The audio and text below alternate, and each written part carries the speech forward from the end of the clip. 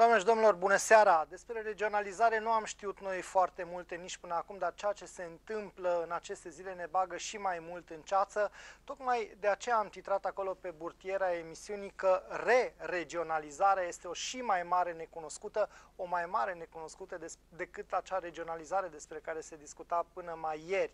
Iată, premierul Victor Ponta a ieșit public zilele trecute anunțând că se renunță la cele opt regiuni, la cele opt regiuni extrem de necesare, extrem de studiate, extrem de importante, așa cum uh, ne dăduseră asigurări până acum politicienii de top ai României și în loc de 8 vor fi 10 pentru că se înființează regiunea Sibiu și regiunea Dobrogea, așa scoase pe undeva dintr-un joben magic uh, politicianist.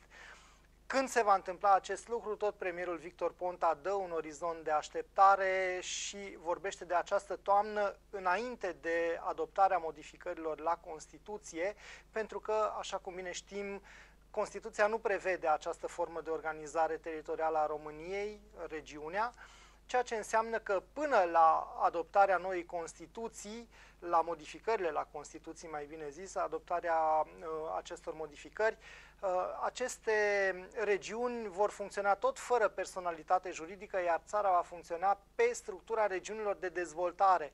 Așa cum am spus, e o mare, mare necunoscută, o mare nebuloasă, vom avea 10 regiuni, dar se va funcționa pe mult mai puține, urmând ca apoi ele să fie completate și să primească personalitate juridică. Încercăm să dezlegăm uh, Uh, amănuntele și dedesubturile acestor regiuni cu invitații noștri din această seară. E vorba de um, doi uh, lideri ai uh, Partidului Noua Republică, doi lideri, unul de la Timișoara, unul de la Arad, domnul Corneliu Dan um, Berari de la Timișoara, bună seara! Bună seara, bună seara! De la Timișoara, dar de fapt de la... Via Arad. De, de, sunt uh, ardelean și ardean uh, născut, nu, nu făcut, cum s-ar zice. Sunt de la Petriș, am studiat uh, la Arad și mă bucur de fiecare dată să revin în orașul tinereților mele, cum s-ar zice. Atunci bine ați revenit în orașul tinereților noastre și domnul Ion Stan, liderul grupului uh, de inițiativă al uh, Partidului Noua Republică la Arad. Bună seara, domnule Bună Stan. seara, domnule Ando, bună seara telespectatorilor dumneavoastră. Vreau să fac o rectificare, sunt președintele Partidului Filiala Județeană a Partidului Noua Republică. Grupul de inițiativă locală nu mai există, că și-a fiind transformat în, în partid, el și-a pierdut uh, autoritatea directă. Bun. Liderul Vă mulțumesc, cu filiale. mai bine. Iată, iată autoritatea cu care vorbiți este cu atât mai mare. Domnule Berari, v-am invitat de la Timișoara pentru că dumneavoastră ați elaborat o lucrare despre regionalizare, uh, dar dincolo de asta ați încercat să luați cuvântul și la acel simpozion, conferință, nu știm exact ce putem, spune. ce a fost sau mai degrabă a fost așa un curs deschis despre regionalizare în viziunea uh, vicepremierului Liviu Dragnea. Nu, a fost o sesiune de manipulare.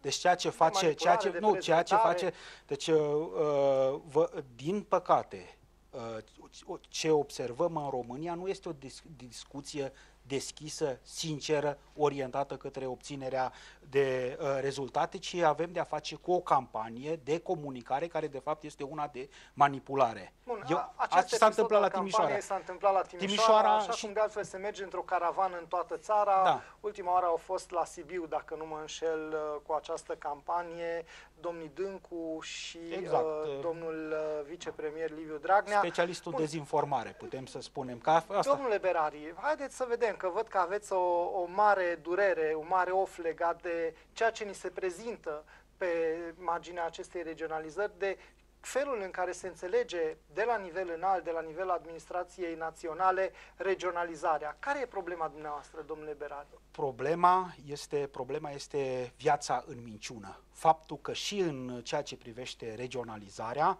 ă, liderii PSD refuză să spună adevărul și refuză să prezinte publicului chestiunile, problemele importante care de fapt îl dor pe uh, cetățean și asistăm la o campanie de dezinformare. Vedem mereu că se aruncă diferite petarde. Ultima care ați spus-o dumneavoastră este aceasta, această petardă privind uh, trecerea la un alt număr. Nu mai sunt 8, sunt uh, 10 am mai spus problema, am spus-o în public, cred că și la acea întâlnire.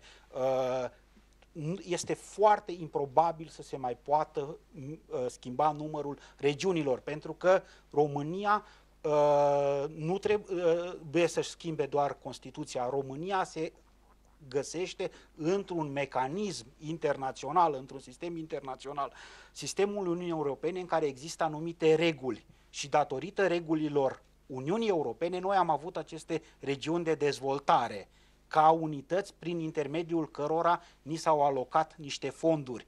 Uh, următoarea tranșă de fonduri începe peste nici șase luni. Începe din uh, 2014. Deci de la de aici ianu... graba. Dar este o grabă falsă și este, deci este o minciună. Eu nu, personal, nu cred că politicienii noștri sau poate Victor Ponta uh, ne va da încă o probă de irresponsabilitate. Eu nu cred că politicienii noștri sunt atât de slab informați încât ei să-și permită să uh, susțină o o propunere care, despre care știu sigur că nu se poate face nimic. Eu nu, aș vrea, în primul, în, în, înainte de orice discuții despre numărul regiunilor, aș vrea ca domnul Victor Ponta, domnul Dragnea, să ne prezintă corespondența cu Eurostat, cu Serviciul Statistic al Uniunii Europene, prin care, Euro, prin care Serviciul Eurostat, Direcția Eurostat, de fapt, al Uniunii Europene, au aprobat schimbarea uh, regiunilor da, numărului nevoie, de E nevoie, e nevoie de, de să vă spun, să dau un exemplu. Eurostatul Dacă, e nu, pur și simplu un fel de Institut Național de Statistică exact. transpus la nivel european. Nu, dar uh, uh,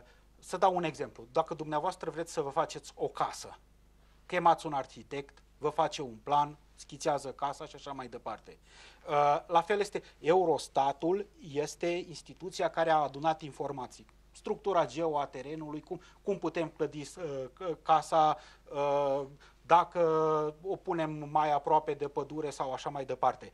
Uh, și uh, Eurostatul adună informații, informații care apoi se folosesc pentru planificarea alocărilor financiare. Deci noi cu schița casei am mers la Eurostat, la, de fapt mergem la Uniunea Europeană, noi am cerut, anum, noi am, a trebuit să ne pregătim din nefericire. Noi nu ne-am pregătit sau suntem foarte mult în urmă cu pregătirea. Noi ca să ne pregătim, avem nevoie evident de informații statistice, avem nevoie de informații despre ce se întâmplă în, ce se întâmplă în uh, România și aceste informații până acum au fost adunate pe această structură a celor 8 regiuni de dezvoltare și s-au făcut multe studii, sau câte s-au făcut, nu suficiente, dar s-au făcut studii de fundamentare pentru primirea banilor în perioada următoare pe această structură.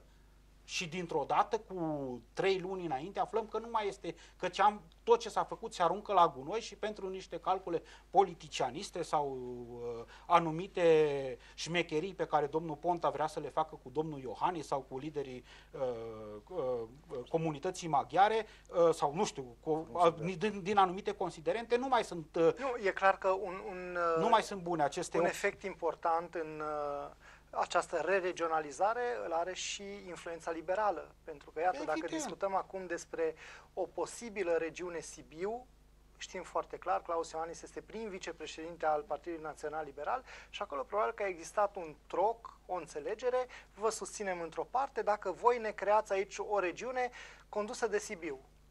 Problema, problema pe care fundamentală este că uh, Uh, scopul uh, regionalizării nu sunt politicienii. Asta uită domnii politicieni. Noi nu facem schimbări de dragul schimbărilor pentru a da funcții uh, unor anumit politicieni, pentru a-i înălța din demnitatea de Consiliu Județean în demnitatea de voievod sau graf uh, regional. Nu. Scopul uh, regionalizării și al politicii de, de, de dezvoltare regională, că regiunile sunt în Uniunea Europeană un instrument al politicii de dezvoltare regională, este de a ajunge la un nivel mai de dezvoltare în uh, România care să se apropie de măcar 75% din media Uniunii uh, Europene.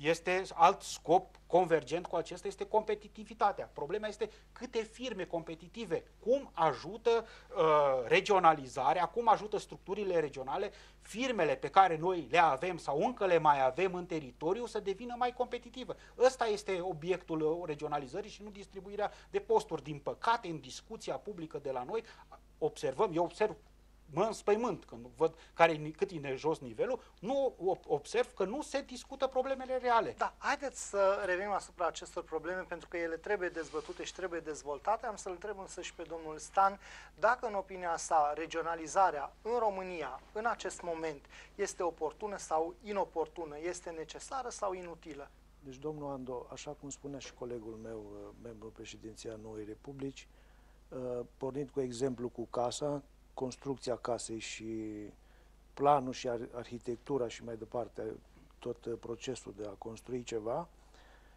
noi când spunem la Noua Republică, spunem construiește pe temelii solide. Deci dacă nu avem temelia, și vorbesc de temelie aici despre descentralizarea concretă, de depolitizarea și subsidiaritatea, nu cred că încă putem discuta de regionalizare. Sigur.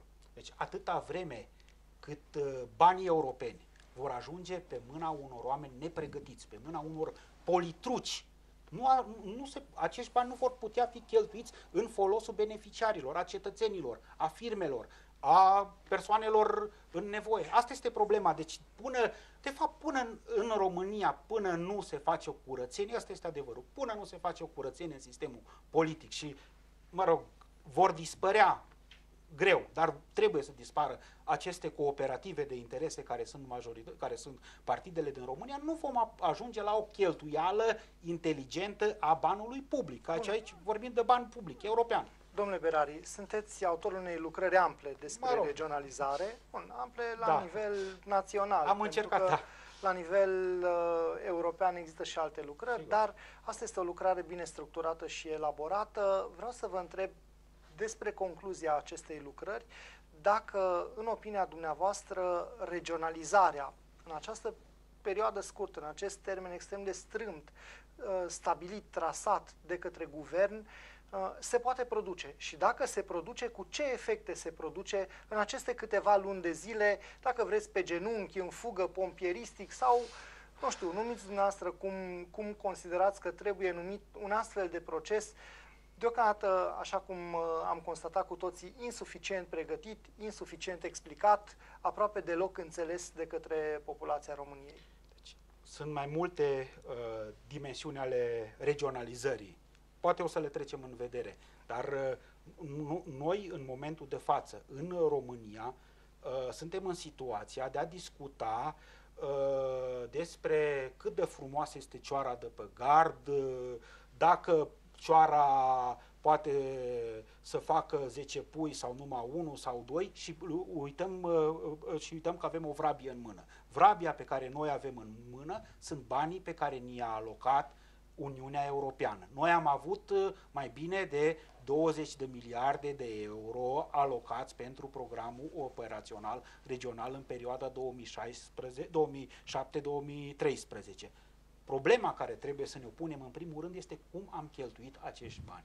Cu ce efect s-au cheltuit bani? Cum putem optimiza acest sistem pentru a cheltui banii în perioada următoare? Deci Asta, asta este ce avem în, în ceea ce privește politica de, de, de, de așa numita politica de, dezvol, politica de dezvoltare regională. Noi am avut niște bani alocați de Uniunea Europeană pentru politica de dezvoltare regională și uh, vom avea în uh, perioada 2014-2020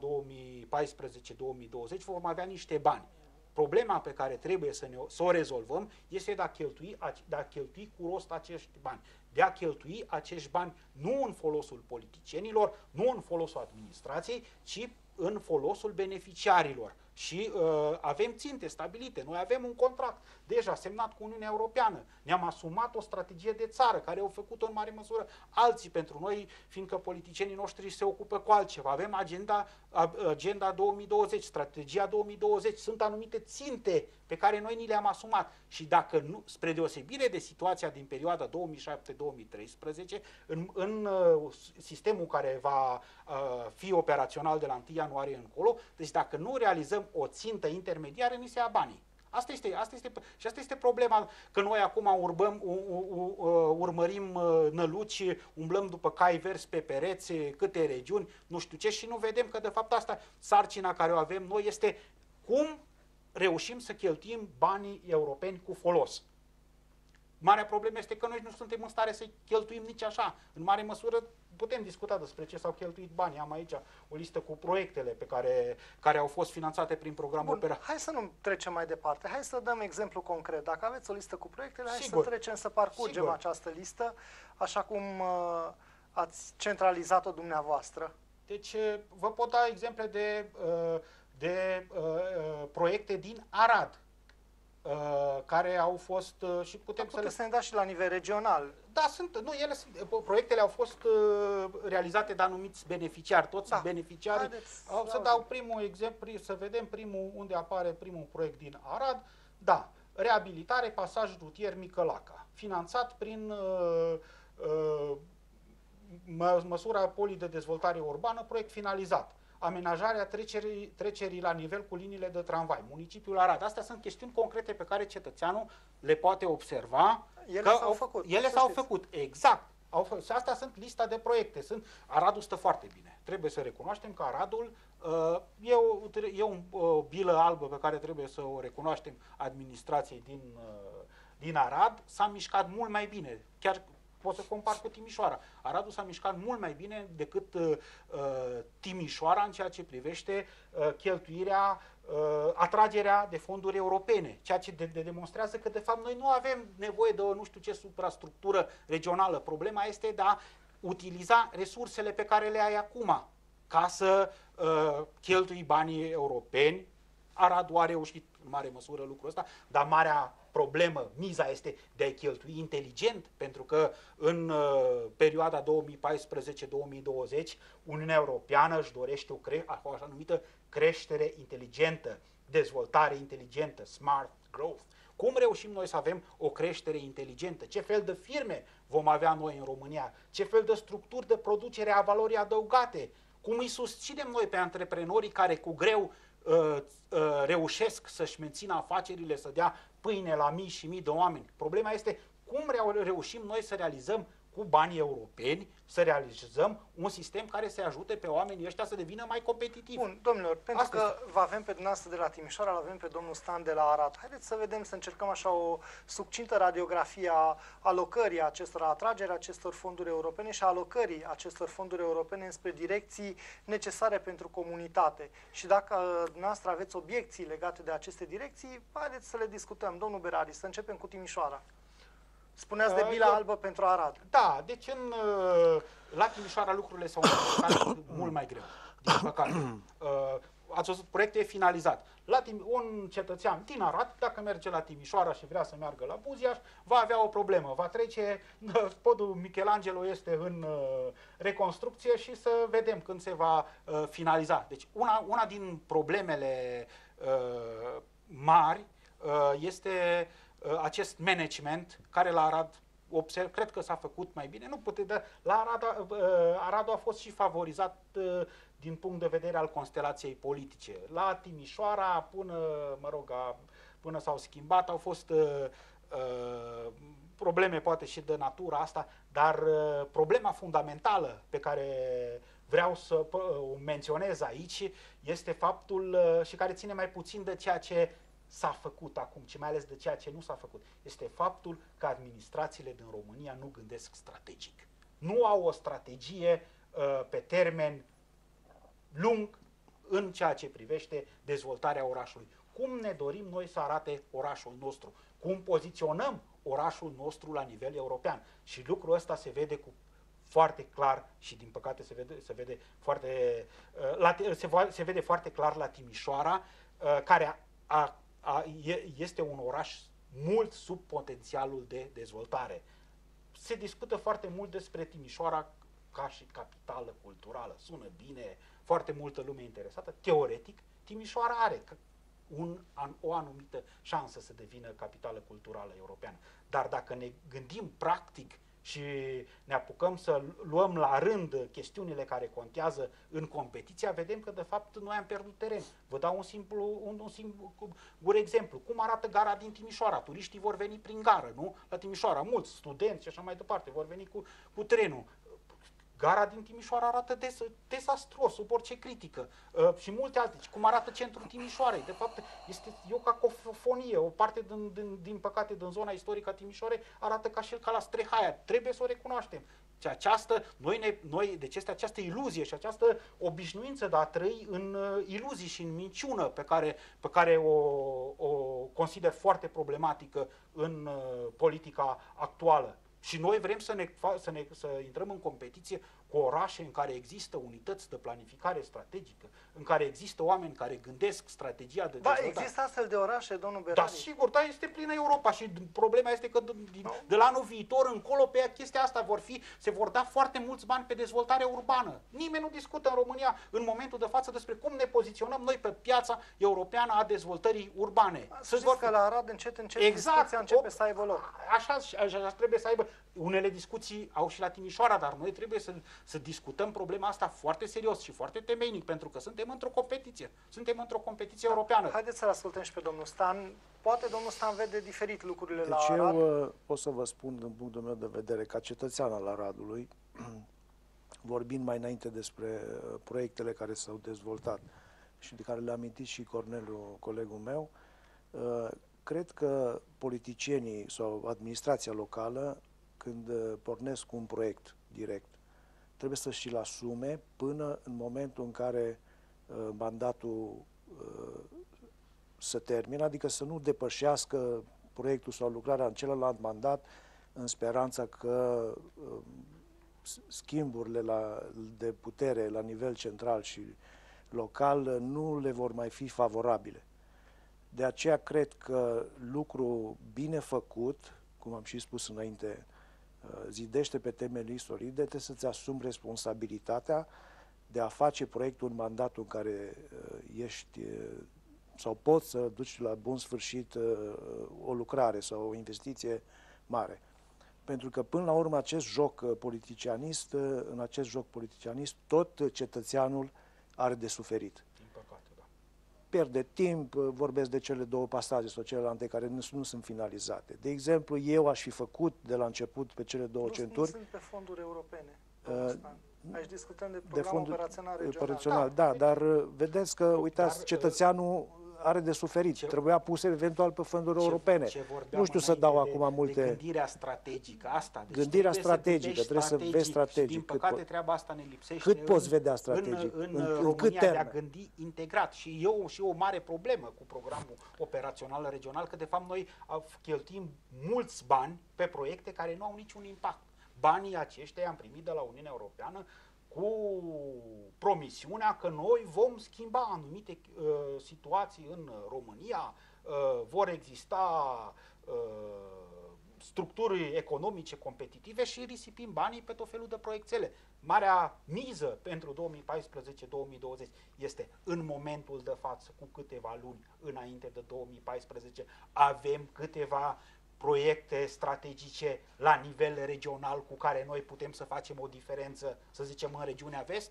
Avem sau nu avem? Păi- Îi putem întreba pe domnii politicieni. Nu să Știți discutăm cum, despre... știți cum arată de- regiunea asta vest în acest moment, domnul Berari și domnul Așa Stan? va fi. Eu Așa sunt- știți foarte bine și dumneavoastră, ca și în fabula aceea, Racul, Broasca și știu ca fiecare, sigur că dreptate, au o da. căruță, dar fiecare încearcă să tragă căruța respectivă în, în, direcția în direcția asta. Nu știu dacă este o direcție potrivită aceasta, dar haideți să discutăm, să dezbatem uh, tema aceasta după o pauză publicitară și să revenim după această pauză publicitară la oportunitatea realizării, uh, regionalizării aici în vestul țării, să vedem oportunitatea din punctul de vedere al cetățeanului din vestul României, să vedem ce avem de câștigat, ce avem de pierdut dacă regionalizarea se face bine, dar la fel să vedem ce avem de câștigat, ce avem de pierdut dacă regionalizarea se face după ureche. Revenim cu această discuție după o scurtă pauză publicitară, menționând doar atât că în uh, lumina ultimelor discuții legate de regionalizare, iată, se pare că regiunea noastră de vest pierde județul Hunedoara și rămâne în uh, trei uh, piloni, dacă vreți, Arad, Timiș și Caraș-Severin, deși am fost săptămâna trecută la Reșița și am văzut că acolo PSD-ul local face presiuni foarte mari pentru ca Mehedințul să fie cooptat în această regiune de dezvoltare. Revenim cu această discuție peste câteva